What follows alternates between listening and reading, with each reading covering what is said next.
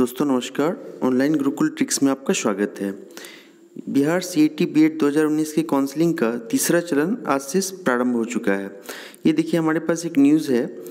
ये आपका दैनिक जागरण का न्यूज़ है। आज क्या दिया हुआ है कि बी एड की उनतीस हज़ार सीटें हुई फुल पाँच हज़ार पाँच सौ के लिए आज काउंसलिंग मतलब ये हुआ कि थर्ड काउंसलिंग के लिए जो फ्रेश अलॉटमेंट होना है, उसकी संख्या लगभग है पाँच हज़ार पाँच सौ। ये आपका फ्रेश अलॉटमेंट होगा। अब देखिए इसमें क्या न्यूज़ है? वेबसाइट पर काउंसलिंग का शेड्यूल अपलोड किया जा चुका है और जमा करना होगा ऑनलाइन शुल्क। जो फ्रेश अलॉटमेंट है, उन्हें ऑनलाइन जो काउंसलिंग शुल्क है, वो जमा करना पड़ेगा। साथ ही साथ 2000 का जो सीट कंफर्मेशन फ़ी है, वो जमा करके आपको काउंसलिंग में जाना होगा। तो न्यूज़ देखते हैं क्या है? राज्य के सरकारी और निजी बीएड कॉलेजों में नामांकन के लिए काउंसलिंग के दो चरणों के बाद चौंतीस हज़ार चार सौ पचास, ये टोटल नंबर ऑफ़ सीट्स है बीएड कॉलेज सब सारा मिला के। इसमें से लगभग उनतीस हज़ार सीटें भर गई है। अब शेष पाँच हज़ार पाँच सौ सीटों के लिए तृतीय चरण की काउंसलिंग शुक्रवार से दो शिफ्टों में प्रारंभ होगी। तो यहाँ पे क्लियर है आपका कि पाँच हज़ार पाँच सौ सीट जो है आपका फ्रेश अलॉटमेंट के लिए बचा हुआ है। बाकी जो आपको ये नज़र आ रहा है जो भी लोग फ्लोटिंग चूज़ किए हुए हैं, वो आपका इसमें से अंदर में आ जाएँगे, दो, उनतीस हज़ार के अंदर आ जाएँगे।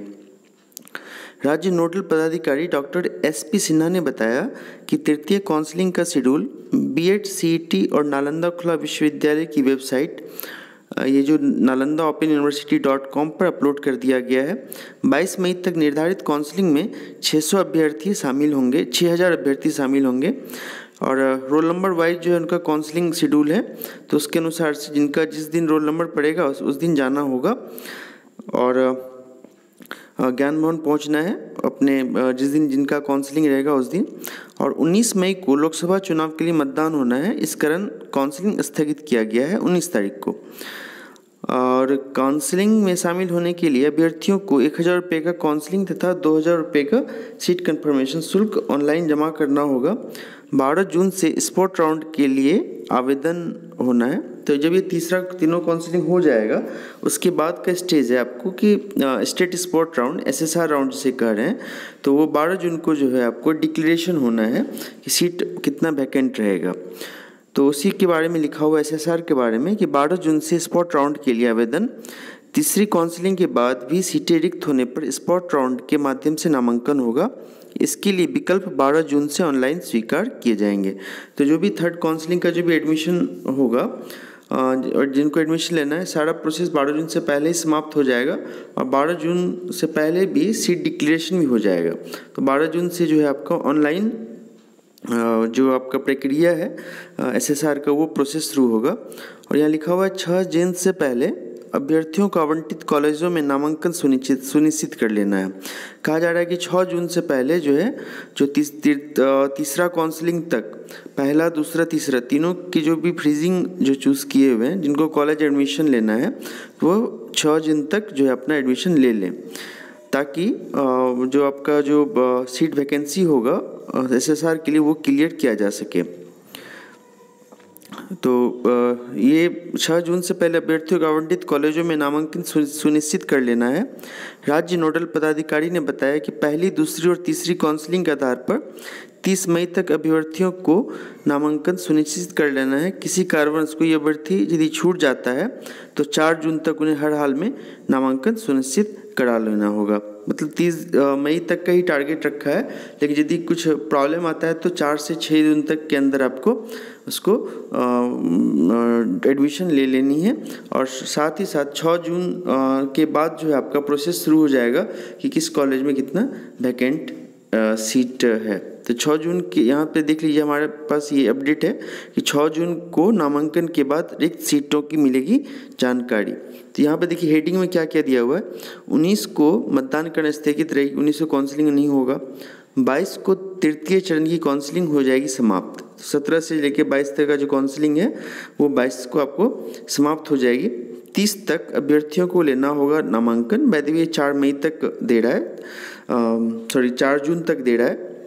और फिर से हेडिंग है कि छः को मिलेगी रिक्त सीटों की जानकारी। मतलब कॉलेज प्रशासन पाँच जून तक नामांकन लेने वाले अभ्यर्थियों के लिए नाम और रिक्त सीटों की सूची नोडल एजेंसी नालंदा खुला विश्वविद्यालय को सौंप देगा। एनओए की वेबसाइट पर 6 जून को किसी कॉलेज में कितनी सीटें रिक्त है, इसकी सूचना अपलोड कर दी जाएगी। वैदी भाई ये पहले वाले में बोला जा रहा था कि 12 जून को इसका डिक्लेरेशन होगा, लेकिन ये जो पेपर का न्यूज़ है, उसमें कहा जा रहा है कि 6 जून को ही आपका किस कॉलेज में कितना वैकेंसी है, वो आ जाएगा। थर्ड राउंड के बाद।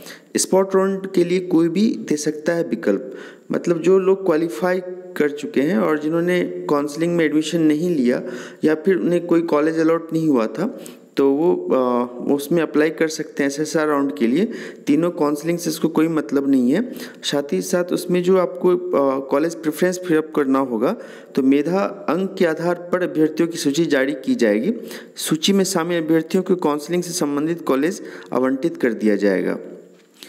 नेक्स्ट देखिए, यहाँ पे है कि कितने अभ्यर्थियों ने फ्लोटिंग विकल्प चुना है, जो आपके फ़र्स्ट जो काउंसलिंग हुआ था सेकेंड काउंसलिंग तो फाइनली जो थर्ड काउंसलिंग के लिए जितने लोग फ्लोटिंग के ऑप्शन का जो चूज़ किए हैं वो 6,800 की संख्या है। राज्य नोडल पदाधिकारी ने बताया कि द्वितीय चरण के बाद फ्लोटिंग विकल्प चुनने वाले अभ्यर्थियों की संख्या 6,800 है। पहले चरण में 8,000 से अधिक अभ्यर्थियों ने फ्लोटिंग विकल्प चुना तथा तृतीय सूची में कॉलेज आवंटित नहीं हुआ वह पूर्व आवंटित कॉलेज में नामांकन ले सकते हैं। मतलब ये हुआ कि जो लोग फ्लोटिंग कंटिन्यू कर दिए थे तो उनको जो है वो पहले फ़र्स्ट राउंड या सेकेंड राउंड दोनों में से किसी में भी आप कॉलेज में एडमिशन ले सकते हैं। अब काउंसलिंग में क्या क्या लेके जाना अनिवार्य है, इसके लिए देख लीजिए यहाँ पे।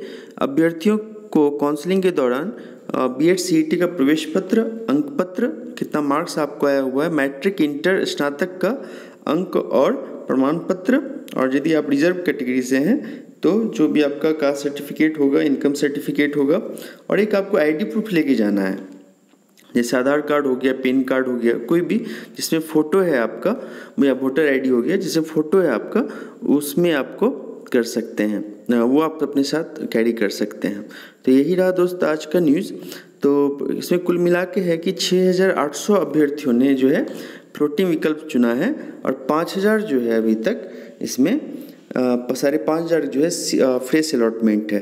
तो किल कुल मिला के यदि देखा जाए तो इस बार जो एडमिशन लेना है थर्ड काउंसलिंग के बाद, वो छः हज़ार आठ सौ प्लस पाँच हज़ार पाँच सौ। तो कुल मिला के हो जाता है बारह हज़ार तीन सौ के आसपास। तो बारह हज़ार तीन सौ सीट पे जो है अब होना है। तो इस पर अब कितना एसएसआर में खाली रहता है वैकेंट सीट रहती है, इस पर हम लोग बाद में एनालिसिस करेंगे। तब तक के लिए ये न्यूज़ हमारे पास आया तो हम सोचे आपके पास शेयर कर दें।